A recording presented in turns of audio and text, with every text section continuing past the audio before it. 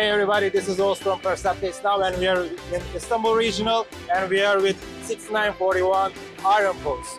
We're gonna be talking about their good robot, their sharpshooter and agile chassis. We are with Julian, Helen and Ethan. So, all this will be on behind the bumpers. This video on fun is brought to you by viewers like you and also in partnership with the following. Discover how Kettering University students engineer their success with Kettering's amazing co-op employment programs where students earn great pay and gain valuable experience. Those accepted into Kettering University can apply for a robotics scholarship providing up to an additional $5,000 a year in tuition assistance. Head on over to kettering.edu slash first to learn more and apply. Support Funds content creators when you sign up for a membership on YouTube Join. You'll get access to special perks like emotes, loyalty badges, and Fun members will even get early access to our scheduled videos and more. 100% of this revenue will go back to our correspondents to help recognize their efforts. Click the join button in any YouTube video to pledge your support. So Julian, let's talk about your chassis. Yeah, our cha- uh, we have a swerve chassis, which uh, is our full customized swerve because it's hard to get the parts from uh, SDS or M- uh, or MK from China. Yeah, so we made our own customized swerve. They're cheaper and easier to uh, to get, and our swerve is powered by also a Pigeon 2, which that it can be field orientated and it's easier for the driver to drive. And it's also fast as a swerve drive and also agile. It can easily go through defenses, like swing around past through defenses, hitting the uh, source and get the note back. So let's let's hear about your intake.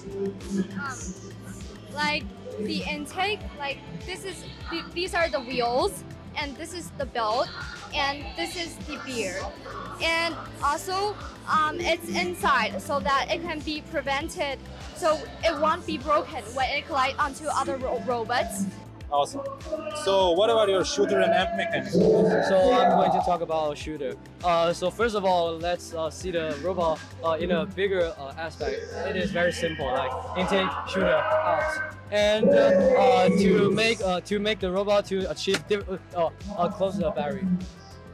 Yeah, so so if uh, to achieve different uh, like different shooting angles and uh, uh, different shots from different places in the field, we have this adjustable shooter with uh, 3D printed uh, uh, 3D printed uh, like, uh, parts and belts. And actually, we did many prototypes, including shooting mechanism, which is vertical, horizontal, and maybe rubber, rubber like rubber wheels and other. And we find that uh, like these horizontal designs with this specific distance with Colson wheels is the best solution for us because Colson wheel is tough enough. When you have rubber wheels, like if they turn in a very fast speed, it will like uh, its volume will increase and if they touch each other, uh, it will be very dangerous. So we use Colson wheel for like uh, reliable robot. And we also add these uh, like helical gears, uh, which uh, increase uh, contact area and make it more reliable. So the gears won't like slip uh, on each other. And we have this tape uh, stored uh, wheels for indexer. So when we have the note over here, it will go to the next phase, which is the shooting through this indexer. And uh, this uh, location of the wheels make sure that the note is actually uh, like touched by the most of the wheels to store it from like just shooting out.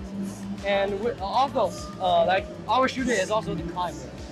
We add this hook uh, at the bottom of the shooter.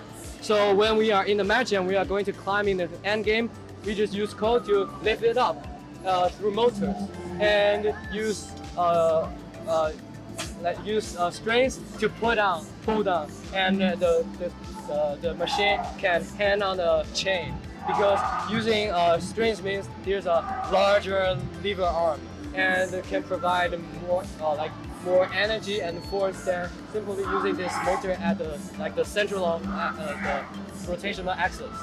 And we also use carbon fiber, which is very uh, light and makes the uh, central of gravity lower as uh, as lower as possible and all these designs makes our robot uh, a reliable one on the match. Yeah. Okay. And I think that's all. Thank you. So can we hear about your software and what you're implementing to the robot? Yeah, and it's actually fun. We have three beam breaks, um, one in the intaker and two more here. Here are two beam, uh, three beam breaks makes the intaker process fully automatic. So all the driver has to do is to press the intake button and it will automatically stop you, not touching the shooter. And we also have a light night vision which could also uh, auto automatically track vehicle tag and not only change the shooter, shooter angle but also the uh, chassis angle. The chassis will automatically point towards the tag so that we can shoot inside. And also the shoot, shooting shooting uh, process is semi-automatic. All the the operator has to do is press the aim button and when it's on the right angle, you can push the shoot button and we'll automatically shoot it. And also about our auto, maybe Ethan.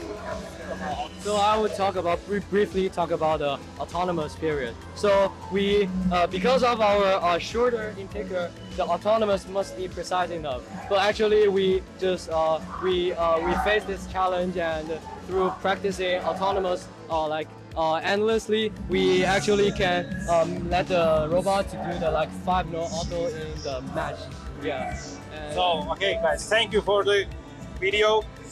Good luck to you for the season. This video on fun is brought to you by viewers like you and also in partnership with the following. Discover how Kettering University students engineered their success with Kettering's amazing co op employment programs where students earn great pay and gain valuable experience. Those accepted into Kettering University can apply for a robotics scholarship, providing up to an additional $5,000 a year in tuition assistance. Head on over to kettering.edu slash first to learn more and apply.